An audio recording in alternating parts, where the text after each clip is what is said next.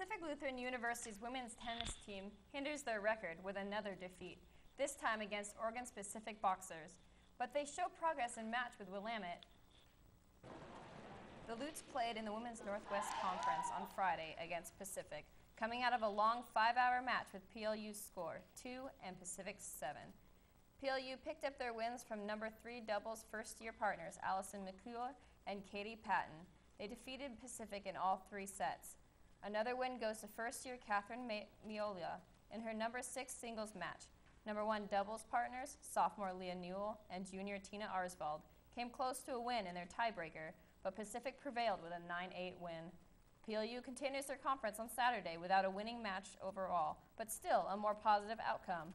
They challenged Willamette, starting with a 2-1 advantage. PLU will go on to play Lewis and Clark in Oregon this Saturday at noon. Maybe they'll get some luck of the Irish for their St. Patrick's Day match.